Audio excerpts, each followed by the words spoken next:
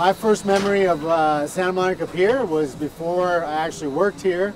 I wasn't originally from Southern California, so when I came down here, I heard about the pier and the beach, and uh, decided to go down to the pier and check it out. And the day that I came down, they were uh, filming Ruthless People with Danny DeVito. Oh my God, that's right. I didn't know it at the time, Yeah. but just see, you know, the parking lot full of cars and movie stuff. You're like, And this so is Hollywood. Yeah, totally. and I, I, you know, I didn't have a lot of experience with it, so I'm like, all right, I'm gonna go out to the pier. And as I was heading out to the end, I could see the temporary harbor office at the time, and the pier was much different because that was back when it had gotten destroyed, and so, Yeah. you know, a big chunk of it was still missing, so it was shorter.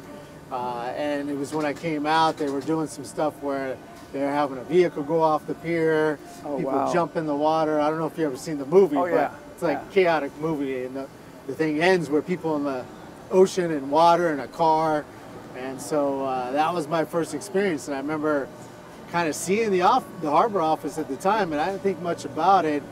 And probably about three years later, I ended up being employed and working out of that office. So that know. so that day you didn't like think, okay, well, I could see myself working here. No, well, I mean, I remember seeing the guys in there, and it caught my eye because they would put up like the tides and the temperature, and I was like, ah, who are these guys? And just caught my eye because of the way it was set up, and I could see these guys cruising around. But I didn't think twice about it. I was actually more focused on just trying to get any job. At the time, I was like 19, 18 years old, and so I was just looking for anything. But that it was seemed out of reach at the time, you know. And look at you now, 40 years later. Yeah, when I was 21, I got a gig there. Wow. So, yeah, that's, That's my awesome. first. Uh, you know, So so my probably first memory of the pier is actually not such a great one. So I I did grow up here in Southern California, like uh, in and around Santa Monica, and um, as you can remember, Fourth of July is here in Santa Monica. Yeah. We're just crazy.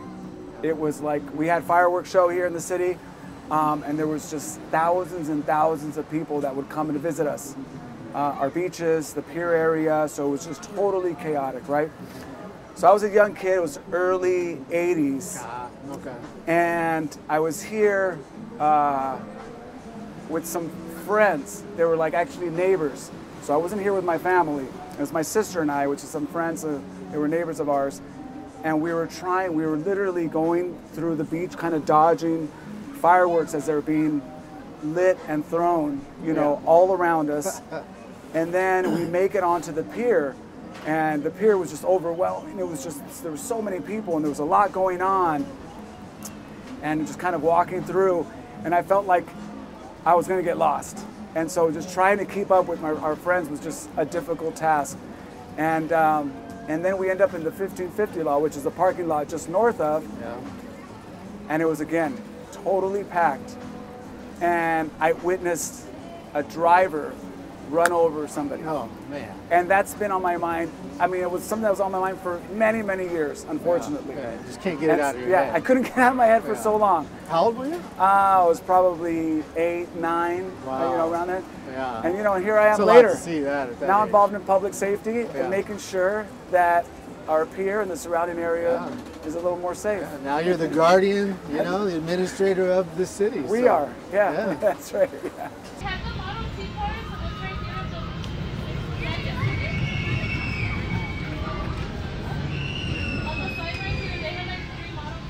So as captain uh, now of operations, uh, it's been nine months, and, and it's been, you know, so far great. Uh, I'm truly enjoying it.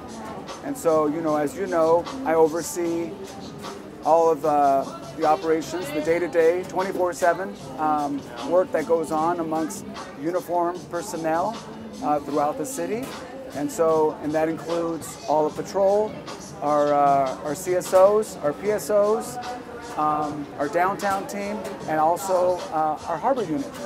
So uh, very fortunate to be amongst a great group of, of men and women who uh, do some phenomenal work every single day to keep our city, our beaches, and our and our piers safe. And so uh, it's been an absolute pleasure um, working with you and, and the team uh, because I think you guys are amazing. I think uh, our harbor team are just a solid group of individuals who just do so much here on the pier. And uh, and and, it, and it's uh, it means a lot to be part of the team. So Yeah. I'm really enjoying it. Well, thank you. Uh, I definitely appreciate the compliment, I know my crew would uh, definitely appreciate those kind words.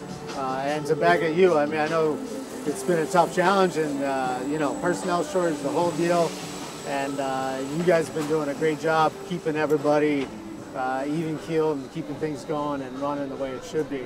My role out here for you know the harbor unit, uh, we're 24-hour civilian unit with the police department, right? So our primary function is ocean lifeguarding, EMS, you know, scuba diving, boat operation, uh, and also being a police presence for the police department as civilian unit on the pier 24/7. So we're covering the pier, the water, the beaches area, and just doing our part and trying to. Um, you know, help out where we can with the responsibilities that we do, you know. Uh, and it's like anything, it's, it can be a challenge at times with people coming and going. And uh, I, you know, I've been supervisor, I got promoted in 2018, but I've been employed here since 1988. So I got, so March be like 36 years.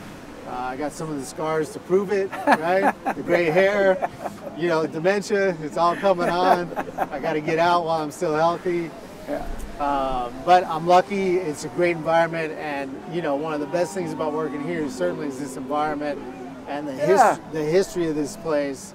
I mean, it's over 100 years old, and it's amazing, just that whole tenure of going through that time, and also working for you know our department for you guys working under your command.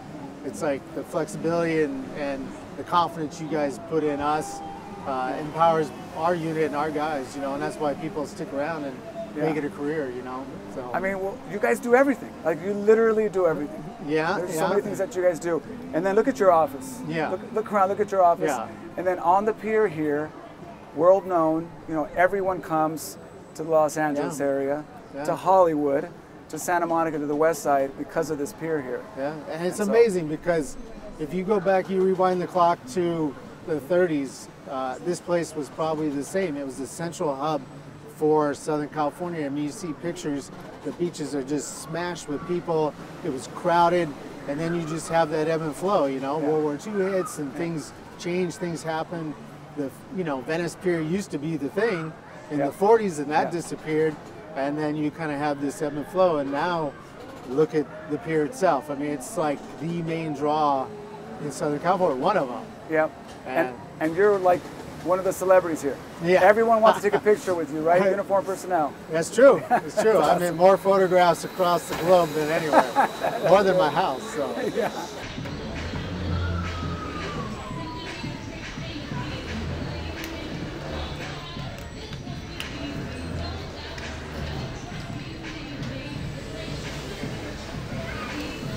I mentioned to you um, the experience I had when I was a little boy. I was under 10 years old back in the early, early 80s, and then working, you know, growing up here in the city, and then now working for the department, and kind of knowing the history of, of the pier. And, and, uh, and there was a time where it was uh, very busy, uh, late, late night, early, early, early mornings, and we've had uh, incidents. And so, but uh, a lot has changed since, right? Wouldn't you agree? Yeah, absolutely. I think it's a lot a lot safer now. Um, you know, I think overall, um, law enforcement, the police department, with with you, with our officers, the community here, I think we've, we've been doing a fairly great job. You know, trying to keep keep our city uh, very safe, and our pier as well. And so, um, you know, from hiring officers uh, to walk up and down the pier, especially during the most busiest times, which is the weekends, Yeah, right? yeah. Um, having our beach patrol on and around the piers, um, having the harbor team here as our eyes and ears, uh, and then there's a lot of things that you guys work on and you guys pretty much handle um, as far as the security aspect of the Yeah, pier as well. yeah. But one of the things that I think is great um, about our relationship with the community, I would say, is uh, all the training that we do here.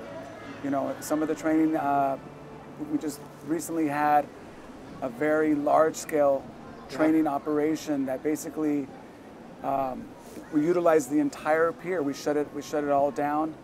We had a lot of volunteers who came out, and and role played for us Yeah. as we acted out uh, a scenario that was probably very very difficult. Well, it would be very difficult to handle if it really happened, but you know, you, you try to make it as realistic as possible. Yeah. And so I think, uh, so you were here, and I think Yeah. that training worked out Yeah. extremely well. And I think, you know, our, our personnel and uh, along with, with the fire department and, and the, the community folks here on pier on the pier did a phenomenal job at Yeah. at, uh, at addressing those issues Yeah, no, during that training day. It was a great turnout. I think just getting people that information, I mean, it's not set in one way, but it's getting them to think in those terms that, hey, if things like this do happen, it gives people options to respond in the right way, you know, which is if you didn't have that training, they, you know, people might panic and not do the right thing. Um, yeah, those are great things. And for, at least from the harbor side of things, I mean, I can tell you because I've been working here since 1988, and so uh, the pier is definitely a more safer place now than when it was back then. That's kind of what you were talking about in the 80s, and it's that ebb and flow. I mean, it's just kind of with times in general, you know. Uh, but now, especially with Pacific Park here, brings a very family vibe. So it brings kind of a different clientele, and plus these guys here with their security has helped watching and patrolling the pier Yes. in conjunction Yeah. with us doing our nightly patrols and hitting the beats and just being that presence. And I think too, like with what you guys are doing on social media and kind of some of our stuff in Pacific Park, Yep. it gets the word out to Yeah. people and they can people can communicate kind of better if they see things, if things are going on, uh, if things are kind of, you know, some things are picking up where they shouldn't be, and you can direct officers to, you know, the parking lot if people are doing burnouts in their cars Yeah. or something Yeah. like that, you know. So, Yeah, and then, you know, I think we do a good job at also trying to f- see what the what what some, what some of the issues, and then you know, coming up with solutions to address them.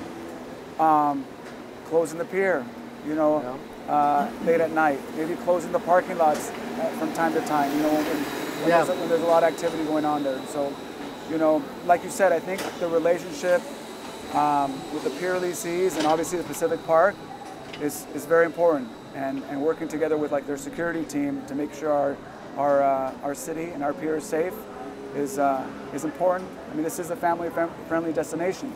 yeah. I still live in the, in the neighborhood. the I have four children and I bring them to this pier and to our beaches. And so that's Yeah. why it's important for me as well. No, absolutely. And I bring my family here too. And I mean, I've been working here so long that this is really my backyard. And it's like my house Yeah. and my garage is at the end of the pier. So I'm like, hey, did you clean the garage today? That's to my, my guys that I work Yeah. with, right? So, I mean, keep the house clean and stuff. So, And the world's biggest swimming pool. yeah, absolutely. Uh, you know, just jump right off. So. Yeah.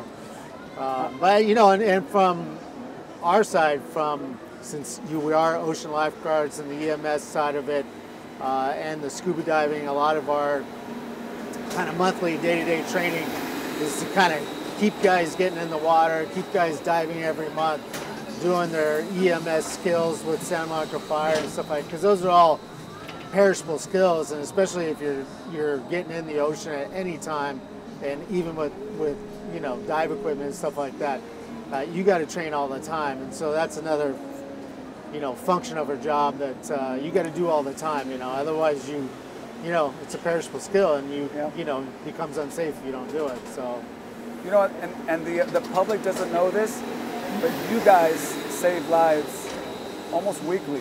yeah, I mean, you really do. yeah. All the all the times that you have to jump in after somebody. Yeah, yeah, it's definitely impressive. part of the job. I mean, it's you know part of the life cycle of the pier. Yeah. You know. That's the reason why you're in still in great shape. I'm, I'm, it's all fake. It's uh, I'm held up by you know toothpicks and stuff. So.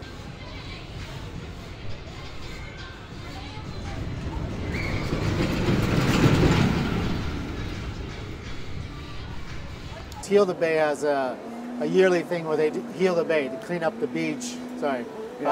um, where they also actually do put divers in the water and they'll do uh, they'll you know put divers out, clean up the ocean. Yeah. and they'll do that up and down the coast, uh, and same with cleaning up the beaches.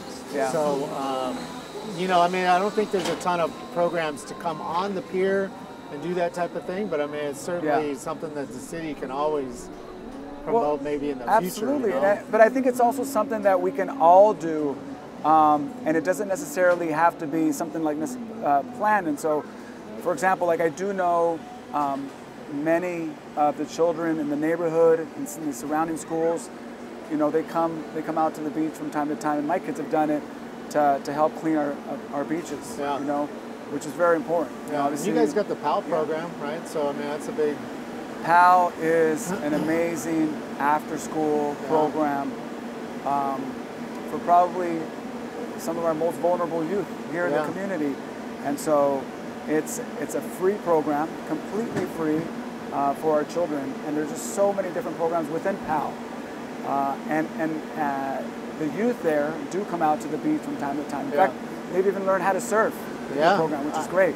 Yeah, back in the days, there's a few sergeants that uh, who were who were very involved in PAL that would actually bring the kids out, and we would get them on the boat. They'd never even been on a boat. they'd never been on the ocean, and so that's always something in the future that if you coordinate, we could even get the LA County lifeguards to get more boats. You Yeah. know, you can get you know plenty of kids out there uh, Yeah. playing event. The other thing also that, that we do a lot that I mean is part of the, the department's program is the the uh, Citizen Academy thing, right? Yep. So you getting the community involved. You're, I mean, you can speak better to that, but you guys are teaching them all about the law enforcement side and how you know uh, in depth it is and how hard it can be and, and unsafe and whatnot. And then we'll end up taking a lot of those academy members out for a boat ride. Yep. They get the photo op, and they can see the pier from the opposite side, which is the ocean side, which Yeah. not many people that even live here get out on the water. You know, so Uh, that program, the Citizens Academy, is probably one of the best programs that we have here uh, within our department. Uh, the community gets to learn about what we do, how we do it, and then also why we do it. It's it's great. I mean, we've built these great relationships with the community Yeah. members when they've gone through this program. And you know, it's about 10 or 11 weeks, and so. Um, it's hard because we only run two classes per year. We'd love to run more, but it's you know it, it does take a lot of time.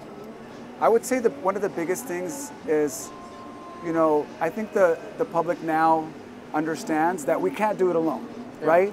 You know, um, we unfortunately are not everywhere, and so utilizing the community as our as our extra eyes and ears. And so sometimes uh, individuals are just walking here on the pier and they see something that just looks a little strange, but they don't want to bother us or they don't want to call for whatever reason. And sometimes, you know, there's a crime that's about to occur or it's occurring right in front of them. So I think the biggest thing is for them to be our eyes and ears, and then if they see something that's suspicious, it, to call us, Yeah. to say something, right? Um, I think that's that's super important. And then, and then also, you know, anytime there's opportunities um, for us to put on these large-scale training events, you know, coming out and volunteering yeah, is, is also is also huge. And so absolutely. the great thing is that we have our community affairs unit, and our community affairs unit are like are the liaisons, our neighborhood resource officers, and our crime prevention coordinators are liaisons between the community and us. Yeah. And so those, that's that's probably the best time that they can probably um, help and volunteer. Uh, Yeah. they've been doing this as in academies for, I mean, I think it's been over 20 years now. Oh, yeah, Right? for So, sure. I mean, you've had tons of people go through them. You've had city council people, mayors go through them. Yeah. I mean, we've had them all on our boat. Yep. Half the time, I don't even know who they are. And I'm like, oh, hi. so, it's, Yeah. it's a great program. Yep.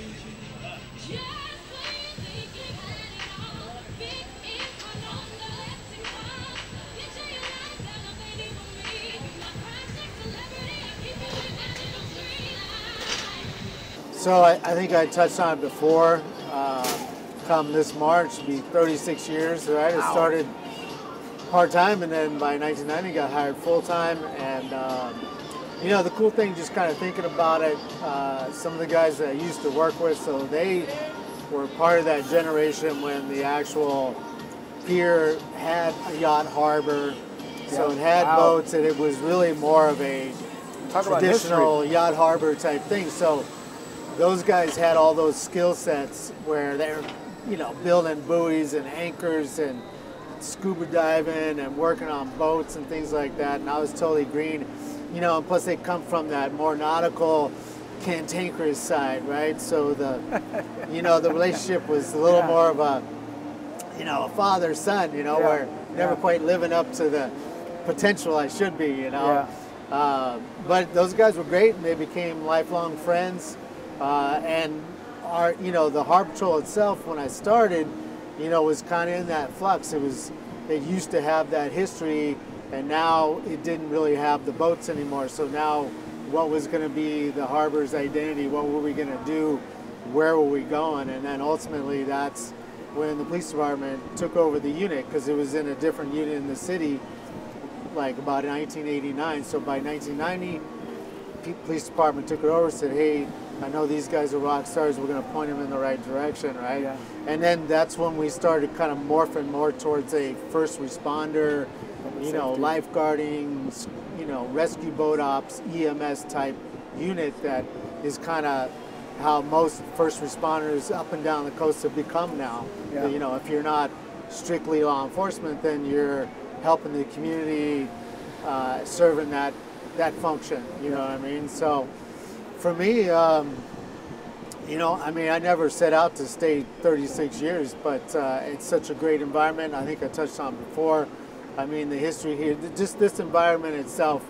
You know, I take pictures sometimes, like at work, and I'll I'll send my friends, and they're, they they're very upset about my office view that I have. yeah. And immediately, it's nothing but you know, Yeah. you know, positive but negative responses because you know they're jealous, right? So, course. Um, so that you know, having this environment here, being able to get in the ocean, the history with it, and working for such a great department.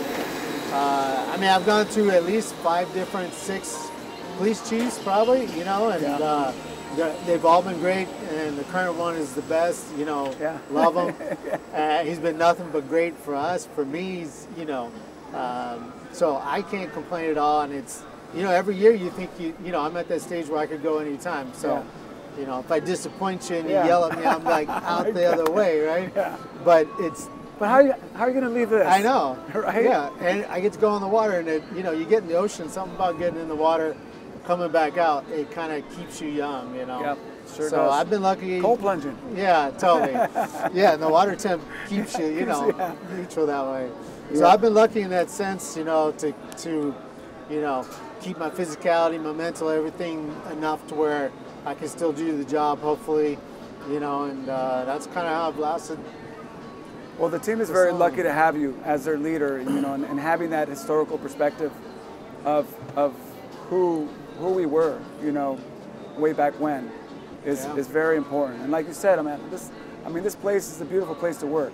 It's a great department uh, as well, Yeah. and so Yeah. yeah, we're, we're both very fortunate. And so, but you know, the one thing I would add is that um, you know everyone has bad days, you know, and sometimes uh, the work's not easy. But every time, I- you know, I had a bad day or something wasn't going right, I would just drive west. I either post up on the park up there, or drive here on the pier, or go on top of one of the parking lots and just look, look over to the water and be like, Yeah, I'm okay. These are gonna be all right. Yeah. could be worse. It could be worse. I Yeah. mean, this is amazing. Yeah, absolutely. And you've had a long tenure too. I mean, Yeah, yeah. It's been, you've been here for like hundred years, right? yeah. I mean, 32. 32. no yeah. gray hair. It's Yeah. amazing. Yeah, there's a few here. I don't know Yeah. how you do Yeah, it. there's a few, yeah. um, like you said, it's, it's just that work-life balance. It's super Yeah. important. So yeah, I started here as a cadet uh, with the police department. Yeah. Uh, was a communications operator, and then became an officer in 1998, and been here ever Yeah. since. It's been great. Yeah. Like you said, great environment, great police Yeah, department. yeah. I remember you because I'm older than you, Yeah. even though you're my boss now, right? So, uh, but I remember you when you were promoting in, and I, you definitely, you're one of those guys, and there's been plenty of these guys where I could always kind of like go, yeah, that guy's good, he knows what he's doing, he's solid. And the thing that I always admired about you, and there's been others too, that your personality's never changed. You know, a lot of guys, you know, the job can change them, obviously, Yeah. right? And you're one of those guys that's always kind of stayed the same, even keeled. Your personality never, it was never too low, never too high, and you're always in the middle. And your personality always stayed the same, and you've always got a smile on your face, and you're always up for helping people and doing the right thing. I mean, and that's, you know, and that's why you are where you are, and that's kind of my compliment to you is that, you know, I mean, uh, you know, I wish more people, myself, could be like that and see that. Even my son, if I could give him that blueprint, I would be like, hey, study this guy and follow it, and you'll be successful in probably whatever you want to do, you know. So. Well, thank you. But Yeah. I, I could say the same about you. Seriously, I, I really Well, can. hey, yeah, same. I appreciate that. Thank you.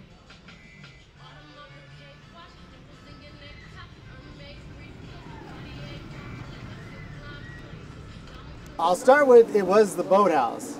Okay, Oh. back in the day, Yes. it's no longer there, it's Yeah, Bubba Gump right. Shrimps. Right? So the boathouse used to be where Bubba Gump right. Shrimp was. I worked there, actually, two years. Bartending. Uh, yeah, yeah. And uh, I was lucky to get hired there, but that place was a great place. It was the best place on the pier. Everybody went there, great music acts. It was there for 30 years. You got pictures going back to the late 60s where the water is coming up right to the bottom of it. Awesome. Ultimately, you know, it expanded and then, you know, just with times it just couldn't like keep up. The owner was uh, Ben Desimone from Boston. He was like this kind of quasi, you know, I wouldn't say mafia guy, but he had that very Oh, wow. East Coast guy. Yeah. And uh, he would come out for, you know, like for a couple of weeks every three months. He'd just show up and he ruled the roost, you know. He had San Monica PD on speed dial, right? Really? Everybody knew him, you So, know. but he was living in Boston. Well, he's living in Boston full time. come- yeah, and he used to live in the Twin Towers. So he'd come out, he had a place, Yeah. hang out, oversee his little, uh, you know, kingdom, and then he would take off. And he's a great guy, you know.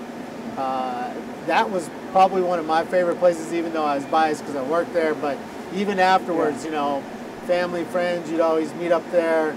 Um, you know, that and Chez Jay's. So that'd Shay be my J's. two places. A lot of history there Yeah. as well.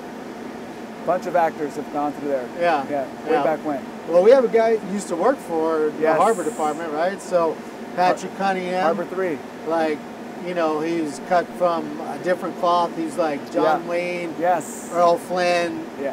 you know. He used to wear, scar- wear scarves on his day off all the Yeah, time. wearing ascot, Yeah. right? He was Yes. like Ernest Hemingway. He was all those things rolled in. And he was, uh, he went to Spain and did bullfighting. And there's a picture of him up in Chez Jay still to this day from the 50s when he was Wow. in Spain. Super impressive guy. I remember him. Yeah, yeah. Yeah. So And he was working here well into his what, 60s? Yeah, he was definitely into his late 60s. he 60s, was old yeah, school. so- He didn't even, I don't think he even started until he's 50, by your age right now. Yeah. And he always Wow. worked nights. Yep. He So- work nights. Yeah. And his, you know, his thing was crosswords. He's very well educated, you know, and he, he mentally trained you right, you know. Yeah. He was a great guy. I do remember him. Yeah. But he was well respected. He knew a lot of people. So how were your margaritas? Uh, my margaritas? Yeah. Oh, good. I'm, I'm a master at making them now, so, you know, I'd love to be able to serve you one now. so. Absolutely. Yeah. You know, I would say for me, my favorite place here in the city is honestly like it, it would have to be anywhere where there's this view. You know, I, I really, really, truly enjoy this view. I mean, we have so many amazing places here Yeah. in Santa Monica. My, Yeah. my wife and I, we're, we're foodies, and so we, we visit a lot of restaurants here, here in Santa Monica. We have a lot of really good ones. Um, but I but I do enjoy um, the view, especially when um, I bring in family and friends from out of town. Yeah. Like they have to see it. And so, you know, one of the places, besides obviously being here on the pier or being on the beach, is right up. Uh, at- this on- view right is here. This view right here, exactly. yeah. Is um, I take them all up on up uh, to the penthouse up in the Huntley. Oh yeah. So I was thinking yeah. about it when you were saying yeah. it. So you know that place that you know that's changed a few times, right? Yeah. That's how that was. Yeah. I, I, I don't remember the name of the restaurant in the '80s, but it was it was another restaurant in the '80s. But anyways, but sitting up there, enjoying a great meal, Yeah. looking over and seeing this is the best. Yeah. And and I always uh, tend to take yeah Yeah. any visitor that comes in into Yeah. SoCal area, I, we always visit that spot. Yeah, So. that definitely used to be one of my areas to go. My, and when my dad used to come down and visit all the time, Chez Jay's was the one for him. Yeah. He liked that little kind of small vibe. Yeah, very cool. and like that was his thing. I, I mean, the galley's amazing place. The galley's another you know, it's spot. got that history. Yeah, a lot of history. Kind of nautical yeah. stuff. Yeah. You know, Third Street's changed a lot. So, Yeah. uh, you know, things come, come and go with that. yeah. I used to live in the Twin Towers over there. Oh, So not a bad place to live. Not bad. I had an Yeah. ocean view from like, you know, a 30 Hey. degree angle. Rent control, you should have kept it. I know. I, I'm not smart enough. Man, Yeah. that would have been great.